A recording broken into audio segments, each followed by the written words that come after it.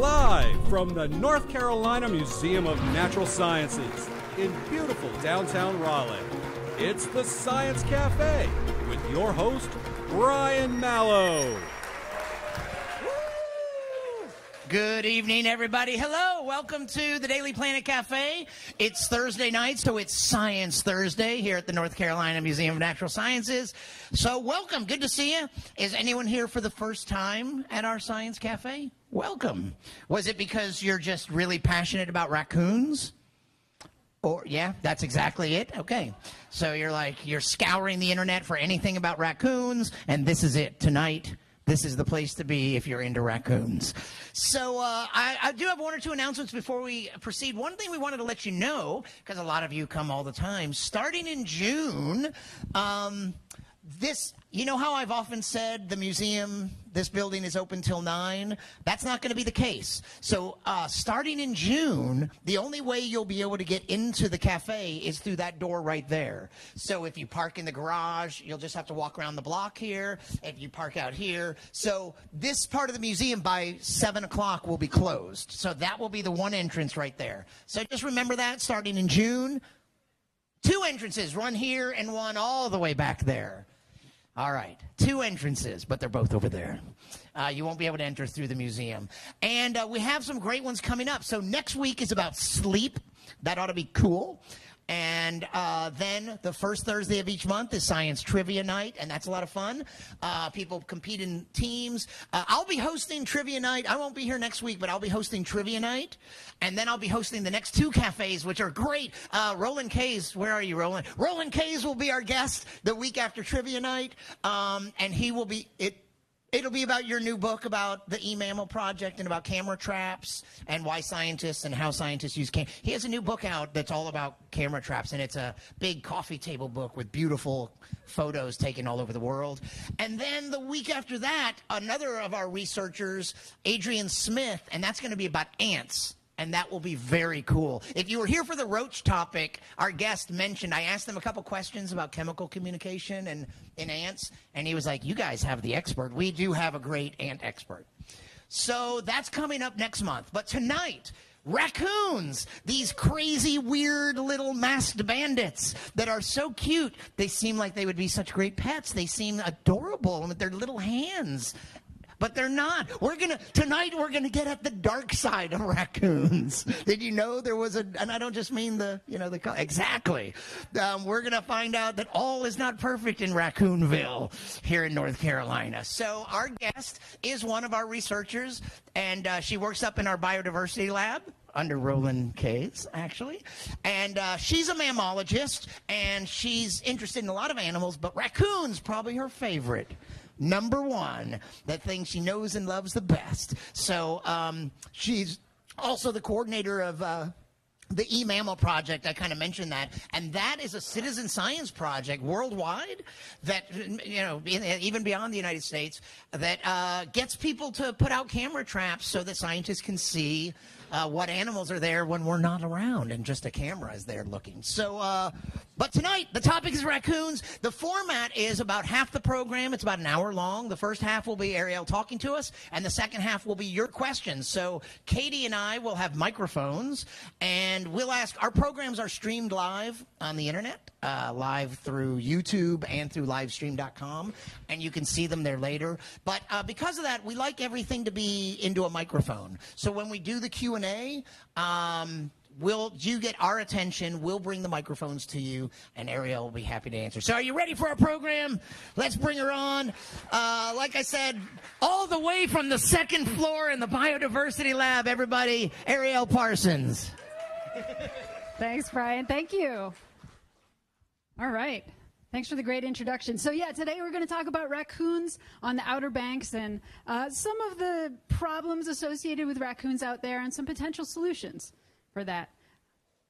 So I'm sure that you're all familiar with the Outer Banks. We're really lucky here in North Carolina that we have the vast majority of our coastline is Outer Banks, and they protect the more inland uh, portions of our coastline from the strong buffeting storms of the Atlantic Ocean. Um, and they're also really, really cool habitats. They're dynamic, they're uh, unique, and it makes them super interesting places to study ecology. So this picture is an aerial view of South Core Banks, which is the uh, the island where I studied raccoons. It's on Cape Lookout National Seashore, off the coast of North Carolina, and it's really typical of barrier islands. It's long and, and really thin. It's 22 miles long. It's only averages about a half a mile wide um, at any given point. And these islands are constantly, they're just like one big sandbar. So they're constantly moving and changing as the currents and storms uh, might take sand from one place and deposit it somewhere else. Um, and sometimes those storms can actually split these islands into multiple parts. And so that's something that the animals out there really have to contend with. And they also have to contend with storms that overwash the entire island. And um, that will actually like flood huge portions of them. And if you think about raccoons, especially, these are mammals that need to thermoregulate. They're denning under the ground. And so this overwash, especially, can be quite damaging and can really hurt the population um, and kill multiple individuals, and in some cases, quite a lot. And we can see some of the effects of that um, in terms of the amount of predation we see on the nesting species out on these islands. And this is a study to exemplify that. This is from one of my colleagues, uh, Shiloh Schulte, who studied American oyster catchers, one of the all time coolest looking clowny birds out on the Outer Banks. And um, what he did is he looked at the total number of oyster catcher nests that were laid every year. And then he looked at their fates. And so the top line there, it's the hash marks, the top, uh, very top of those bars, that's the proportion of nests that were successful in a given year. And the very bottom bar, the dark gray there, that's the proportion of nests that were taken by mammalian predators in a given year. And the vast majority of those mammalian predators can be identified as raccoons. So you can see that proportionally, we've got quite a lot of uh, predation by raccoons, but there's a hurricane there, Hurricane Isabel, which hit and it just decimated the northern island of uh, Cape Lookout, North Core Banks, and it just washed it completely over. And you can see the nesting season after that, there's proportionally a lot higher nest success of oyster catchers and a lot lower uh, predation. And so it seems that what I was talking about before is, is probably true that, that it's a pretty harsh environment, especially for raccoons and, and mammalian predators like that in these storm years. And it's not only in storm years, actually, that these environments are particularly harsh for mammals. And of course, I'm showing you this picture of this nice beach, and you're like, well, harsh for mammals. I go there for vacation. It's lovely. What are you talking about? But, you know, imagine that you're a raccoon out there. These beaches are not quite so nice. I mean, they're quite barren. They're very exposed. They have to deal with a lot of wind and salt spray, which is, which is um, quite taxing physiologically. And if we go beyond those beaches to the dunes, which are right behind them, these dunes are, again, fairly barren. They can range from quite, you know, entirely barren sand to what you see here, which is sparse vegetation, but it, you know, really offers minimal shelter, minimal areas where these animals can forage for food. So the real bread and butter of these islands are the marshes. And they, these islands do have extensive marsh systems, and they do offer quite a lot of uh, food, and, uh, and it's usually quite seasonal. So we're talking shellfish, fish, arthropods. Um, and then you can see in this picture in the very back, there's a bunch of woody vegetation. And so there's these thickets of short, scrubby, woody vegetation along the edges of these marshes. And that's really what, where they get the most shelter. Um, and that's a real limiting factor for them, though, because when the tide goes up, even just at a high, high tide, or certainly again when a storm comes through, those den sites are entirely flooded. Um, and it especially causes quite uh, we think quite high mortality, quite high juvenile mortality. So there's not necessarily high survival in uh, in the cubs, and not a lot of reproductive output. And again, as I said, a lot of the resources are seasonal. So some seasons are great, and some seasons not so good. So again, a fairly harsh environment, and one that naturally should be able to limit this population to a relatively uh, low and stable level. The problem, of course, of course, there's a problem, is us people, or so we think, that people can actually artificially supplement these populations that are pretty tightly naturally regulated. So people can provide lots of supplemental food. Uh, you know, raccoons, of course, are not very shy, as a lot of you know. They'll go into uh, dumpsters and coolers, and I've seen them unzip tents before. So they'll kind of make themselves at home. Fishermen out there also will leave bycatch as a you know general uh, you know activity, and they'll leave the bycatch, the fish fish that they don't want, and raccoons will definitely take advantage of that. Um, and also, there are settlements out on these islands that have been abandoned. They've been taken over by the federal government, and uh, they've just kind of been left to their own devices. And as you can imagine, raccoons make their ways way eventually into these abandoned structures and get much higher quality denning habitat than they do in those marshes because of course these don't flood and so they can therefore have a little bit higher reproductive success and a little bit you know um, more potential to grow their populations potentially beyond the natural carrying capacity of these islands and that is of concern to the managers and, and to all of us who happen to like birds like American oyster catchers because it means that the potential, if their populations are higher, the potential for predation is also higher. And we can see um, this is again an example of American oyster catcher nests, but this is uh, basically the, a very similar story for a number of other birds and turtles, which I'll talk about in a minute. But mammals, and again, predominantly we're talking about raccoons here. There's occasional foxes and possums, but mostly on the Outer Banks we're talking about raccoons. Uh, and they are responsible for the majority of nest failures. Um, and these are nest failures that we can identify pretty conclusively what the cause is. So there is reason to be concerned if there are too many raccoons on these islands.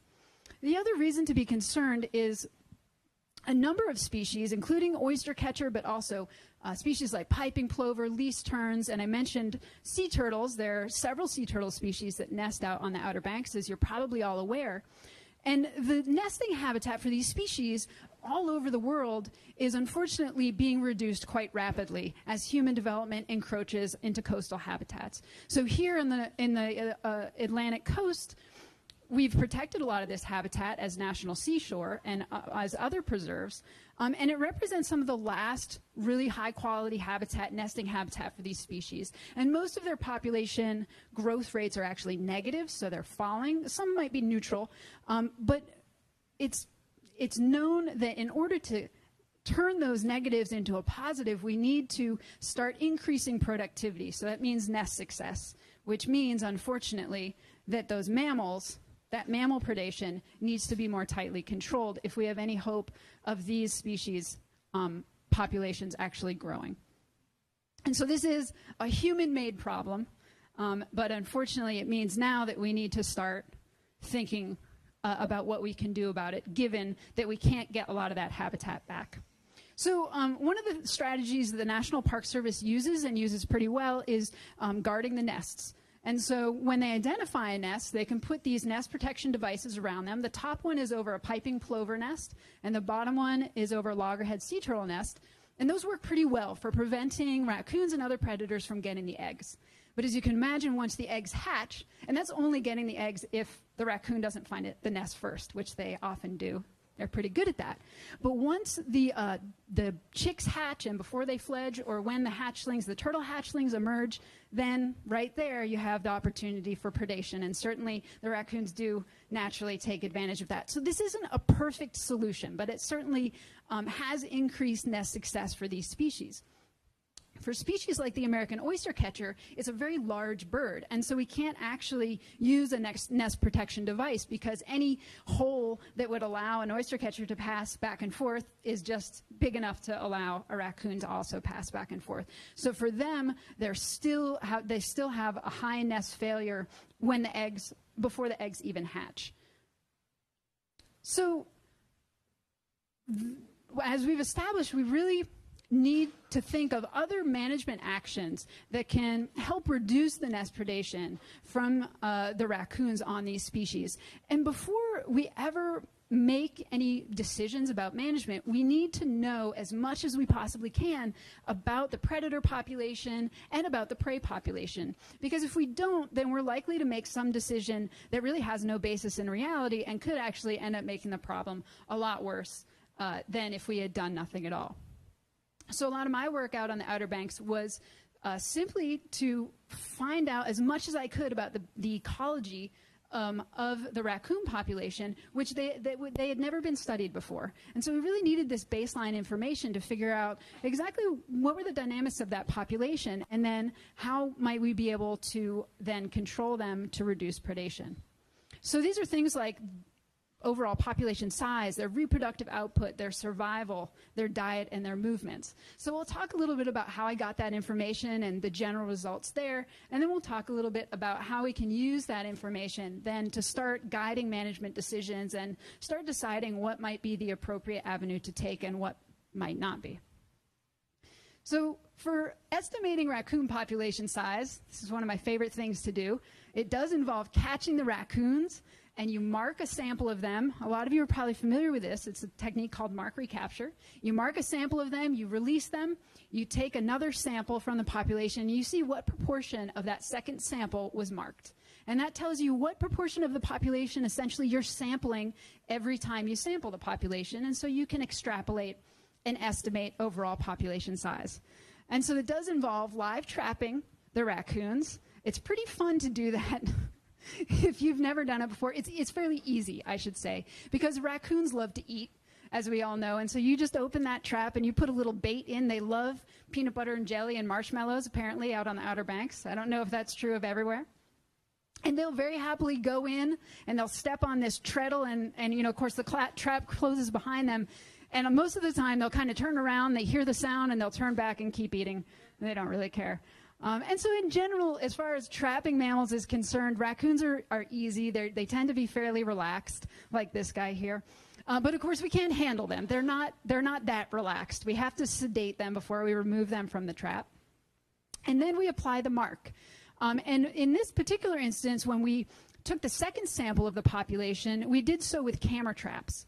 So it's just a less invasive method. And so we wanted to make sure that the marks that we used were pretty large. Um, and so we affixed a collar like you can see here, and then we hung some really bright, brightly colored tags off of it so we could easily see it um, in the cameras. And then, of course, we let them wake up, and we usually give them a snack afterwards so they really like us.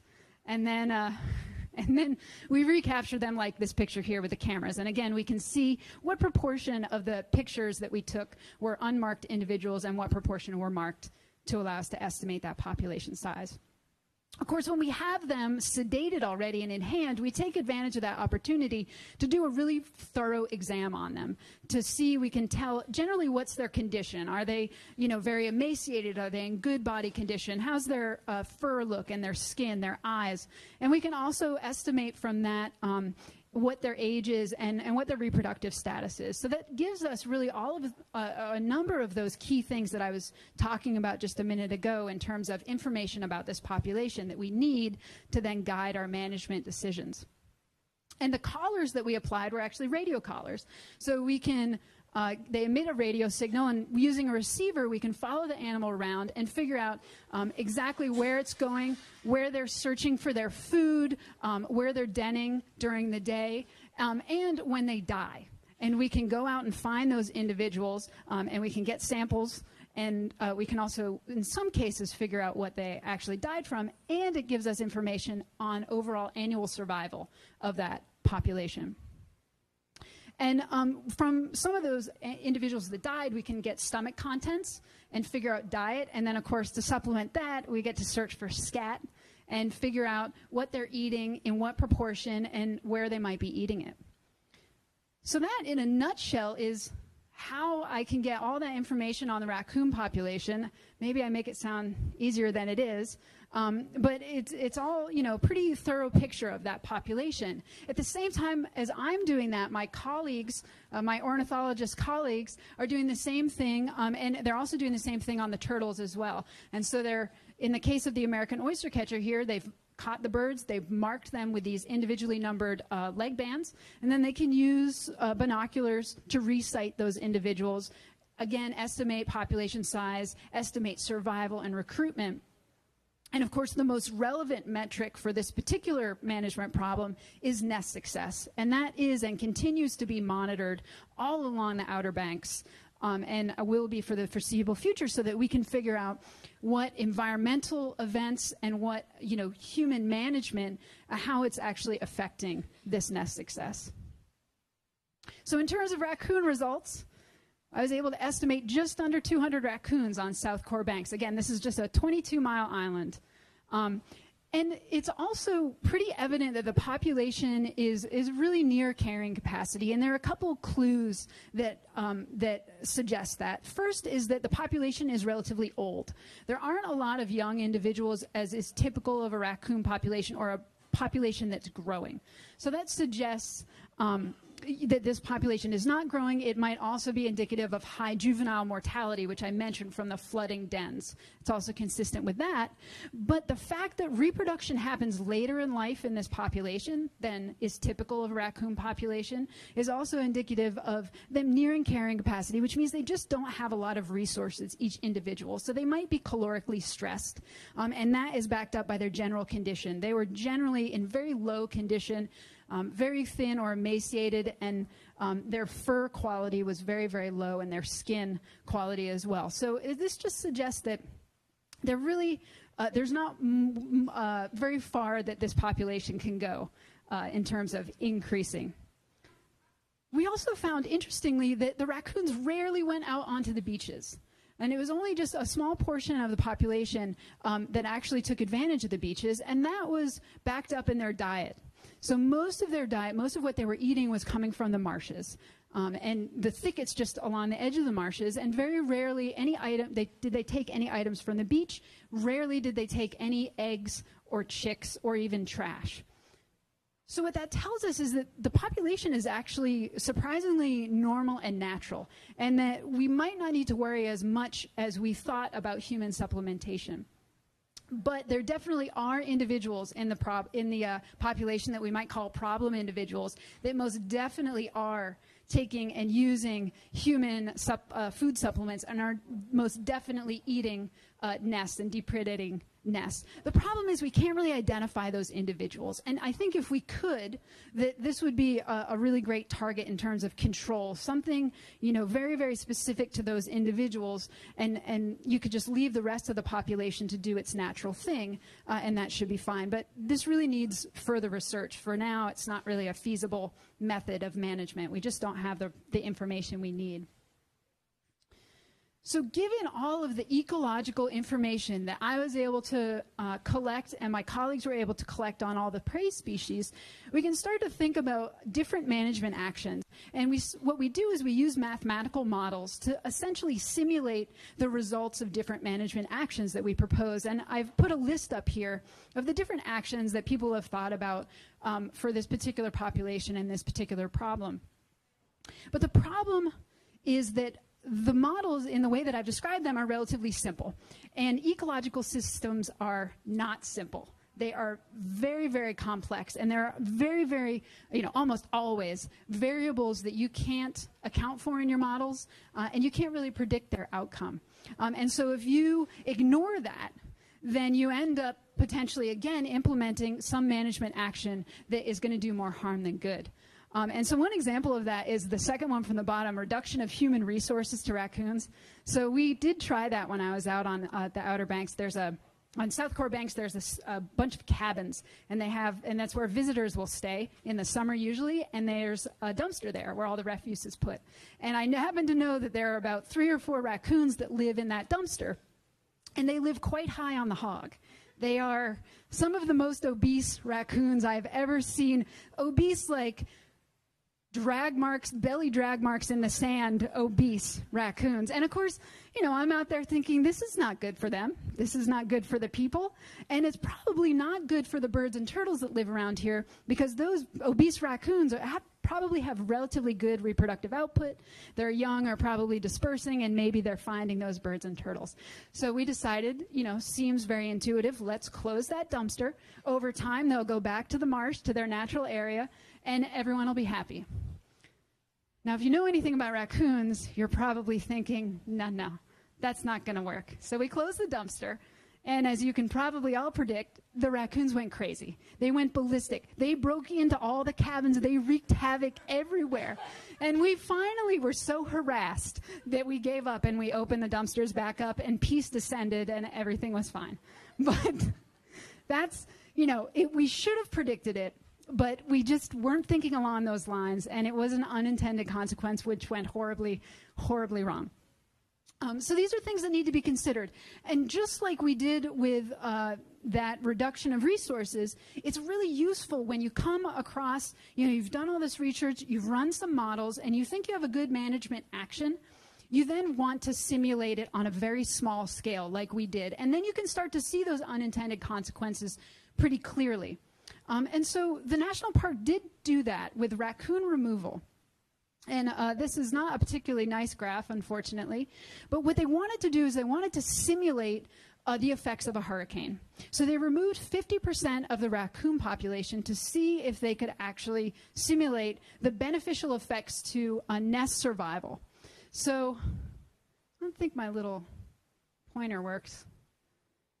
So the tallest bar there um, right after Hurricane Isabel, that's North Core Banks. This was the island that was just decimated by that hurricane. And it's the same one that I showed you in one of the first slides there. We can see nest survival probability goes way up.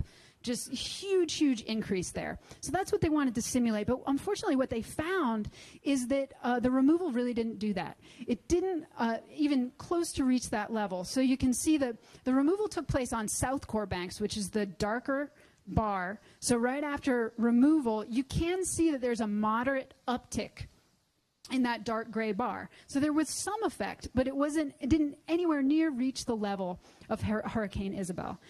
And there could be different reasons for that. Um, and most likely, it could be that Hurricane Isabel removed effectively more, a higher proportion of the population. It could also be that the effects of a hurricane go beyond removing predators and include um, maybe habitat manipulation in that uh, it offers up more high quality nesting habitat for the oyster catchers, thus increasing overall nesting success.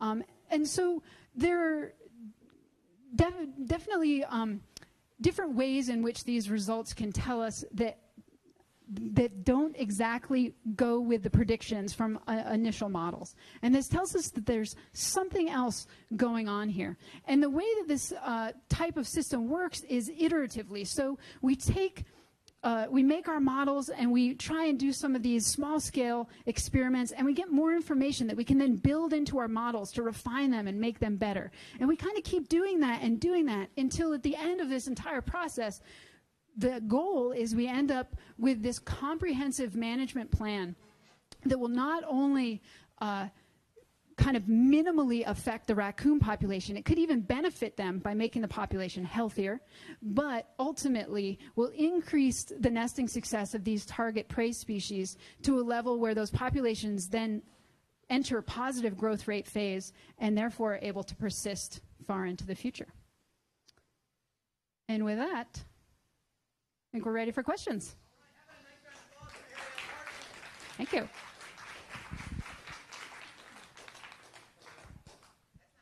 all. Isn't that just the way it works?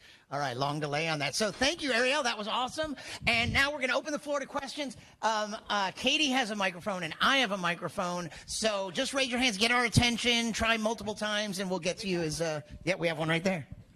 So it was interesting to hear that um, the population of raccoons in the area that you study, you think is is approaching the carrying capacity. And besides the impact on um, the birds, I'm wondering if you can tell us some whether some of the other things that one might expect um, in that kind of situation have happened, like um, uh, competing for environmental niches with some other um, other creatures, or um, higher mortality, um, uh, disease because uh, you know, they're more de- a denser um, population of raccoons. What what happens when um, raccoons get to be numerous like that? It's, it's a great question. Um, so uh, to answer kind of one part of it, there actually aren't really any competing species with raccoons on South Core banks.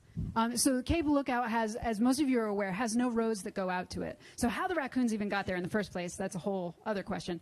Um, but the only other mildly competing species is mink. And they are, as far as we can tell, uh, they exist in such low numbers that, you know, it, it's, there's no competition really there with raccoons. So it's really raccoons that would be competing with their conspecifics with other members of the raccoon population. Um, surprisingly, though, we see relatively high survival. They have their winter survival is maybe 90%.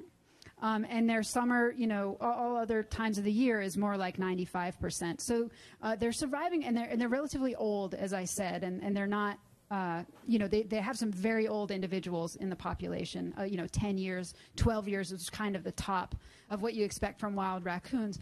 But where I think the density dependence is limiting their population is more on the other end of the age spectrum, which is the recruit the recruitment. And I think where it's really indicative is there this population is breeding for the first time at about two, three years old, which is a full year to two years after your average raccoon population. Raccoons around here will breed before they're even one year old um, for the first time, usually. You know, on average, I should say. So they're really delaying their breeding, um, and I, I, think that that is because they're so limited uh, in their resources.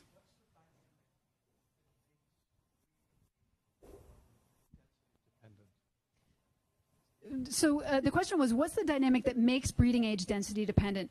Um, in my understanding, it's very similar actually to human beings. When you're um, uh, calorie or fat deficient, your body actually will not enter puberty, and it's very, very, I, I it's very, very similar, I think, uh, physiologically in raccoons um, and any other species that is kind of nutrient deprived.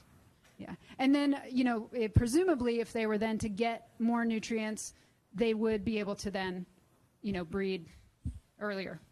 Yeah. Yes, Dr. Kays.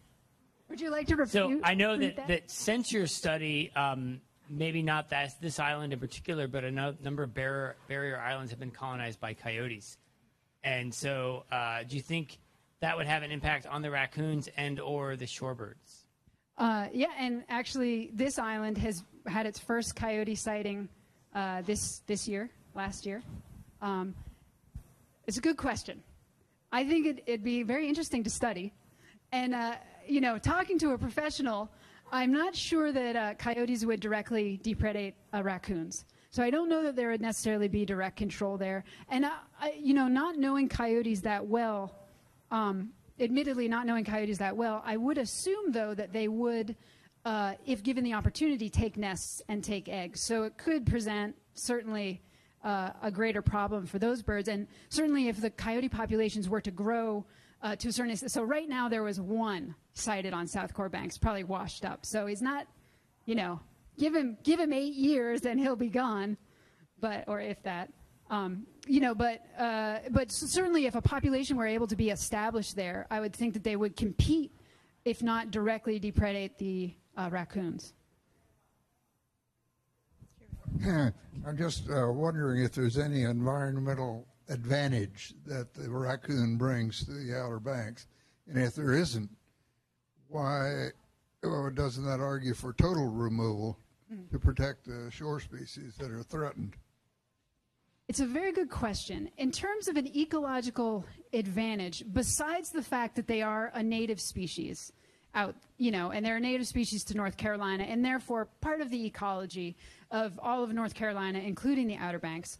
Um, there's not a huge advantage. The one caveat to that I will say is I mentioned those mink that are out on the Outer Banks, and on other islands um, of the Outer Banks, there are other, uh, you know, medium-sized predators like possums and foxes, and it's you know, having the raccoons out there on South Core banks will supposedly control the mink population. And if you were to remove a very high proportion of the raccoon population, conceivably those mink could then take over that niche, and then you've got mink are very hard to trap. So at least raccoons are easy to catch. So there's that advantage.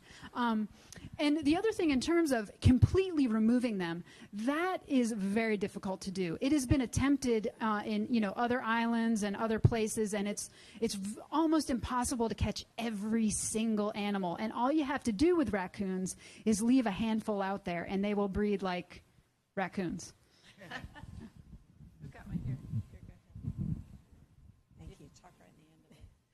Um, I'm wondering what the connection between the uh, increase in predation on the nests and the dumpsters and the people uh, with the raccoons? Is it because it's drawing them closer to the beach?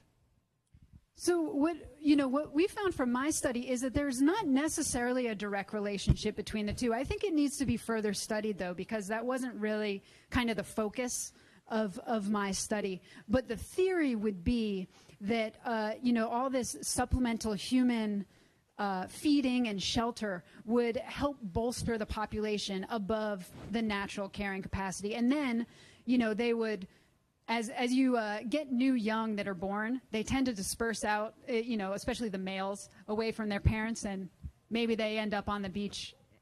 You know, more often. Does that mean that it's harder to for the raccoons to forage on the beach than it is in the marshes, and that's part of why that would be a second choice to go out there? Right. That that's my that, that's what I think. I, I don't really have any information necessary, any data to back that up, except that when we did our telemetry, uh, animals very very rarely went out onto the beaches, which suggests to me that you know. A, there's not a lot out there for them, and just naturally, um, there's just it makes sense intuitively. There's more cover, uh, there's more variety of food sources in those marshes that it doesn't make a lot of sense to come out of it.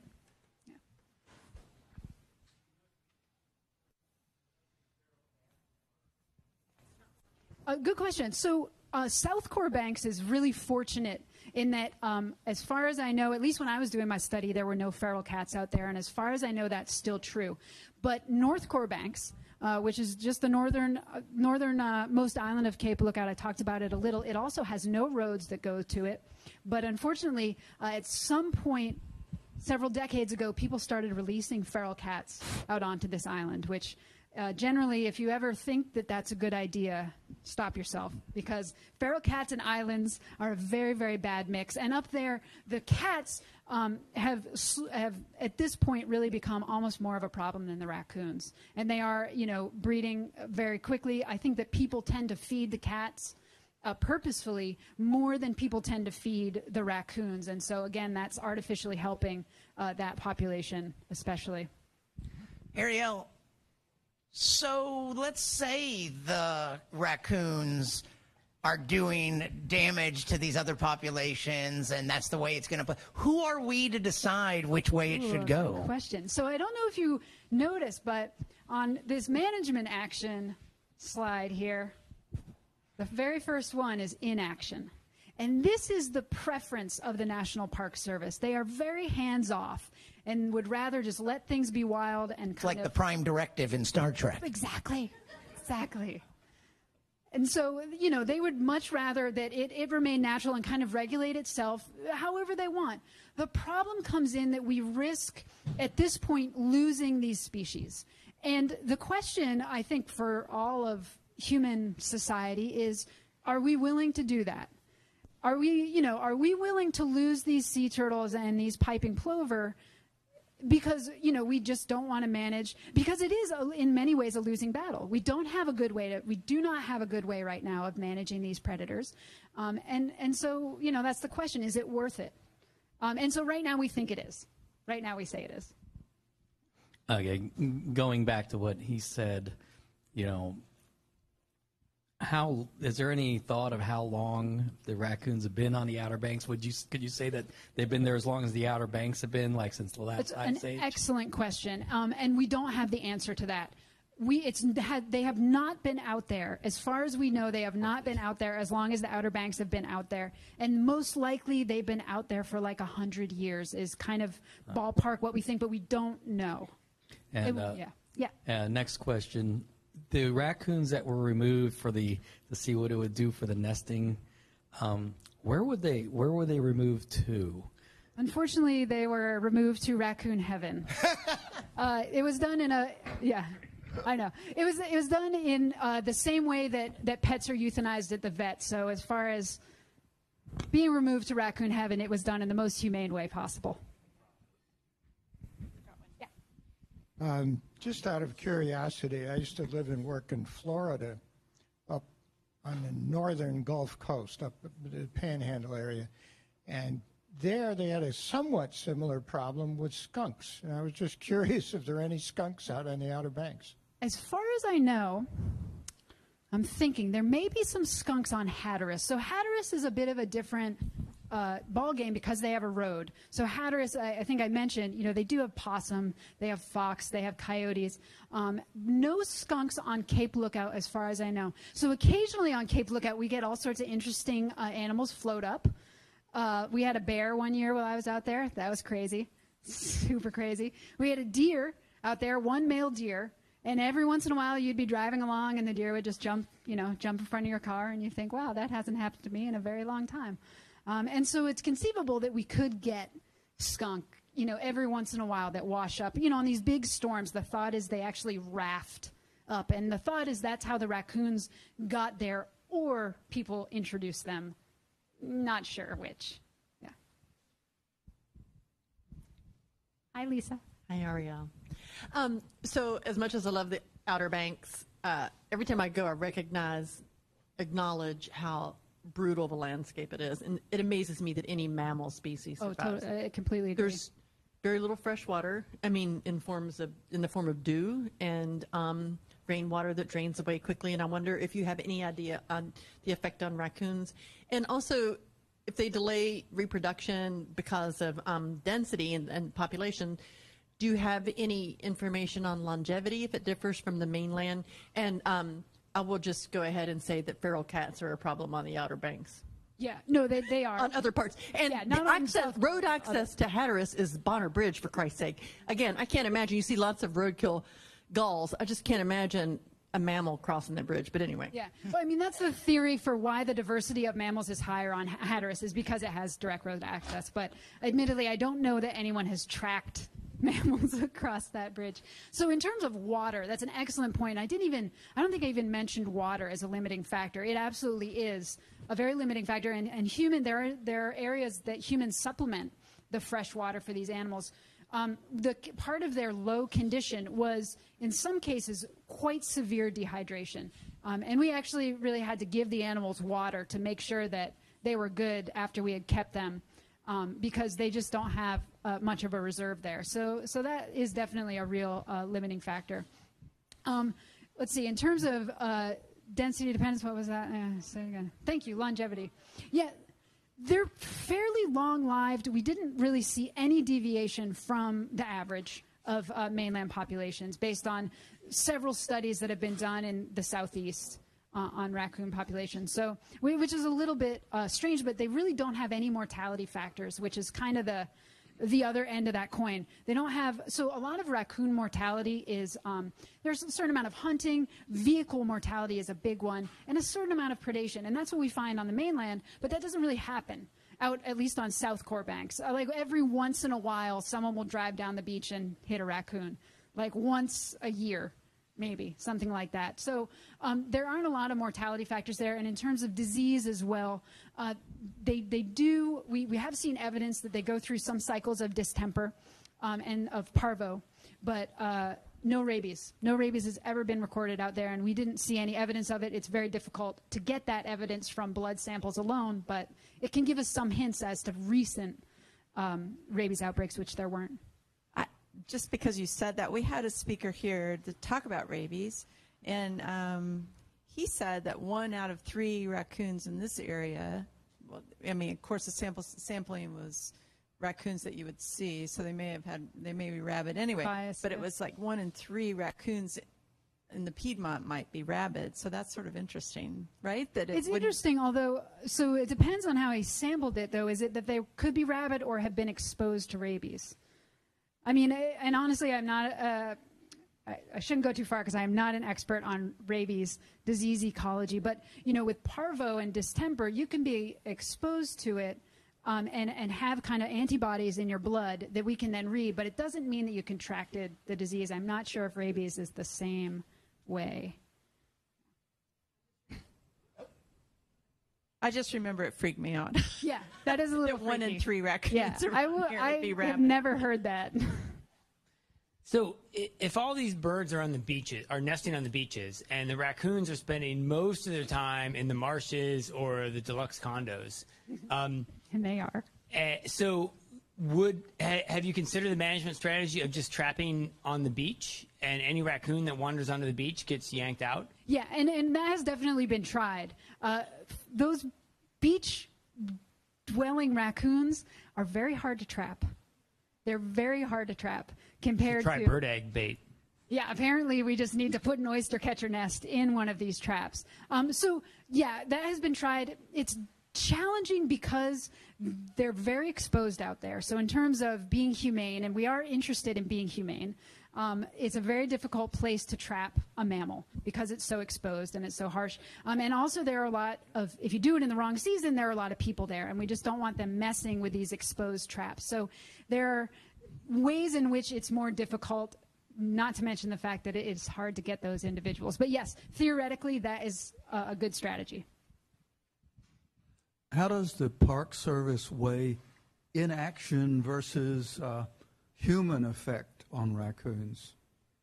Well, so the human, so reducing human effects is always the first strategy that they want to implement.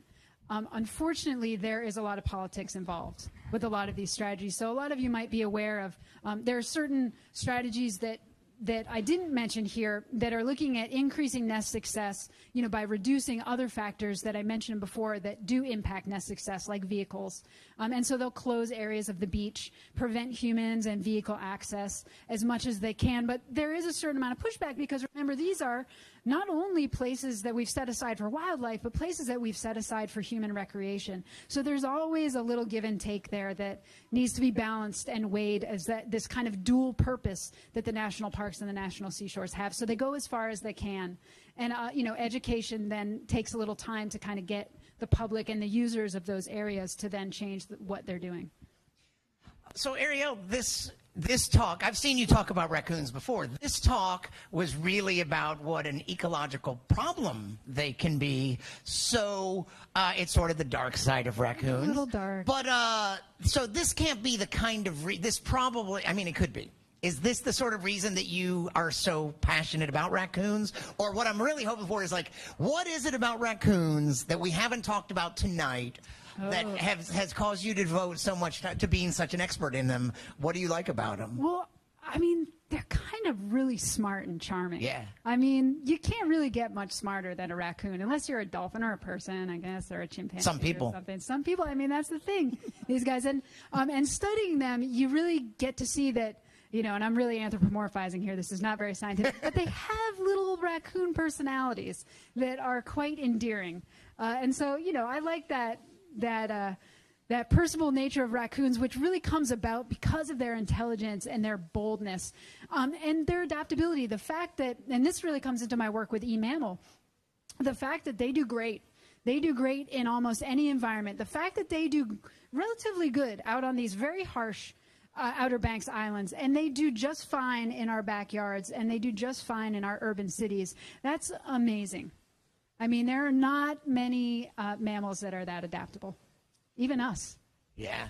Do you anything like because of that, like that sort of like even anecdotally, uh, anything that you can tell us about some really weird, like something unusual that you've experienced with a raccoon, or someone you know has experienced with a raccoon?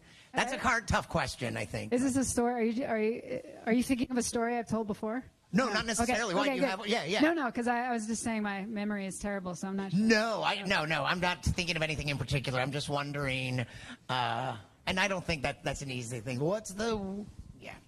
Well, I mean, raccoons that's are, too broad. you know, kind of so staying on that that same uh, that same vein of their intelligence. I mean, they will uh, they'll fix any situation. I mean, most of you are probably aware of this, but if a raccoon wants to get into your attic, he's probably going to find a way to get into your attic, and they'll, you know, kind of make their own way into or out of anything. And um, on the Outer Banks, a lot of times, I kind of hinted at this, but they'll go around to campsites and they'll they'll literally open zip open tents and they'll zip open they know how to use zippers out there i mean that is so amazing right? Yeah. Yeah. Okay, so if the ones that ate out of the dumpster, I know we don't want them to be obese, but did they stay away from, I mean, was there any way to track whether they stayed away from the nests? So couldn't we just those give yes. them more people stuff? and make them they'll leave the birds alone. Honestly, Too obese to even. Exactly. Honestly, the birds were very safe from those obese individuals because until we closed the dumpsters, presumably. But I had a vision that the, these obese raccoons couldn't even get out of the dumpsters. Right. Uh, Frequently, they are they there. did not. They were hilarious when they tried. but uh, yeah, no, I mean they really didn't go anywhere. They they hung around the dumpsters, and we, so one of them we had a tracking collar on, and they basically all hung out together. They were probably related to each other, and they would like go about like I don't know ten yards to a little shrubbery. And they would bed down there, and then they'd come back out, and they'd like back and forth. That's as far as they ever went. Maybe more dumpsters. Maybe we need. yeah. So we hadn't thought of that. There, that's one solution. Make them all. So Yeah. we've migrated to raccoon intelligence the, um, and adaptability. The, the um, scientist who was here last week and talked about cockroaches, um, if I understood the explanation for their adaptability, I mean, they survive everywhere. Um, his, I think the explanation was that it's such an old species that they've had a chance to differentiate to take account of all the different environments that the earth has thrown at them over many millions of years why why are raccoons so intelligent and um, Adaptable. adaptable It's a What- very good question. And um, I am not an evolutionary biologist, so I forgive anyone who is, and I get this wrong. But a lot of it, I think, has to do with diet. Um, and that there are certain, uh, you know, mammalian species like ourselves that have developed, i- you know, into generalists, just kind of evolved uh, this generalist diet strategy. And that gives us a certain amount of flexibility um, and tends to correlate with potentially with higher brain size. Now I'm getting way outside of my comfort zone here, um, but but it allows them to be adaptable ecologically, which then you know leads to adaptability within ecological niches. Um, that's that's my best answer for you. Yeah. They are omnivores. Yes, absolutely. They raccoons. I mentioned peanut butter and jelly, and I mentioned marshmallows, but they will eat. Uh, they they really like to eat small mammals, small reptiles, amphibians. They love shellfish. Shellfish is probably their number one, and fruit. So really, you name it. I have never seen a raccoon turn down anything, and they don't care if it's clean. Can I tell this one?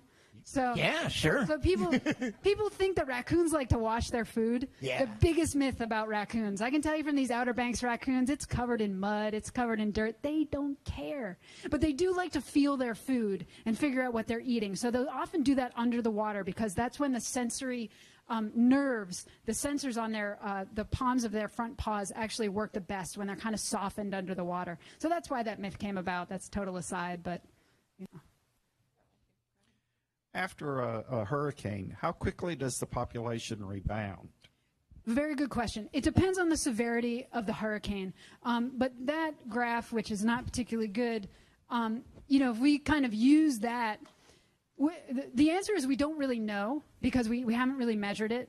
Um, but based on this graph, you can kind of see that it takes, you know, usually a fairly short amount of time, a year or two, for at least nest success or nest predation to, to go back up. So it does not last long. And that's another challenge for management if we're thinking about removal, that um, there is this density dependence, and it will, they will compensate again by breeding more, by supposedly surviving longer, and that compensation will happen very quickly. And that's been shown with other um, mammalian populations, other carnivore populations. Um, and so, if you were to to adopt a management strategy that involved removal, it would need to be in perpetuity. That you would just have to do like this small scale removal every single year to expect it to uh, have long lasting effects, which is not necessarily uh, feasible sometimes or desirable for the public. So, again, this is something that needs to be considered. Arielle, I think we have time for one more question before we kind of wrap up. Okay, I'm looking at this slide that you just took down, and the one one possibility is taste aversion. Yes. And I- I'm picturing you going out with hot sauce and putting it on the all the eggs or something. Ooh, we didn't try that. I want Honestly, to know how that works. honestly, raccoons would probably love that. so. It must be hard with raccoons with omnivores. So this this was not something that, that I did or um, Cape Lookout did. This was something that was done uh, years ago at Cape Canaveral National, National Seashore, and they um, they made eggs that were uh, that exactly or as well as they could tell mimicked sea turtle eggs. And they would um, add them or i think that they added them to some sea turtle nests and then they made entirely new nests that mimic sea turtle nests. And inside those eggs and around the edge was a, a compound i forget the name now it's some crazy chemical name that um, past studies had indicated raccoons and other carnivores did not like the taste of I don't remember the details of, of the particular compound, but uh, they tried it and they did a controlled experiment with it. It was, it was actually quite a nice experiment, and they found, lo and behold, the raccoons didn't care. What, were they hoping that the raccoons, if they didn't like it, they would shy away from eggs in general? like exactly, Yeah. exactly the principle. Um, and you know, everyone was very excited, and we're still. I put it up there along with contraception. These are two things that um, have been researched uh, fairly well. But it's tough have- to get them to consistently use contraception. Right. I mean, the that's problem. the problem. It's education, education, right? Yeah. So, you know, these are uh, solutions that are still being entertained but have been somewhat pushed to the side and why they're, they're focusing more on these other solutions because they've been tested and shown that they're not particularly effective. But the hope is that maybe we can come up with some creative new twist on it or um, combine it with some other method to make that method more effective. So I, they're still up there. Very cool. So this has been fascinating, of course, as I knew it would be. Um, but just in, in closing, since there was a lot to this, um, and just back to the main uh, subject of your talk, what would you like us to leave here knowing? What? Uh, yeah. Yeah, well, that really that that raccoons are native to the Outer Banks, and we do hear the dark side of them out there. But they should remain out there, and we can manage them. But that involves really knowing them, really knowing the raccoons. So get to know your Get raccoons. to know your raccoon. All right. Thank you very much, Arielle Parsons. Thank you. And this week, anyway, this building is still open until 9 o'clock. Um, so take advantage of that if you like. And like we said, next week is sleep, and then science trivia, and then uh, uh, camera trap photos and. Um, and uh, ants will be very cool. Next month will be great. So thank you very much. Thanks for your great questions. And uh, if, uh, especially if you haven't been here before, give us a little feedback. We always uh, read everything. So get on our email list. And thank you. Good night.